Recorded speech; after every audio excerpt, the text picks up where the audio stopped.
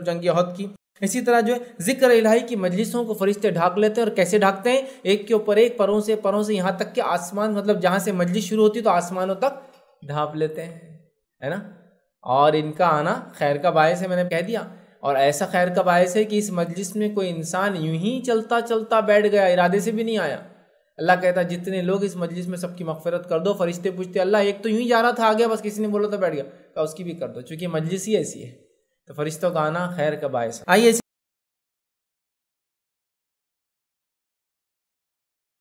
वालेकुम आप भी हमारे इस काम में ताउन करें, अपनी ज़कात और के ज़रिए। डोनेशन डिटेल्स के लिए डोनेट पर क्लिक करें। अगर आपको हमारी वीडियो पसंद आए हैं तो इसे शेयर करें और सबके हकदार बने। रोज़ाना हमारे वीडियो को पाने के लिए हमारे यूट्यूब चैनल को सब्सक्राइब करें और बेल आइकन दबाएँ। हमसे दीगर सोशल मीडिया पर जुड़ने के लिए वीडियो में दिए गए आईडी को सर्च करें। जजाकल्लाह।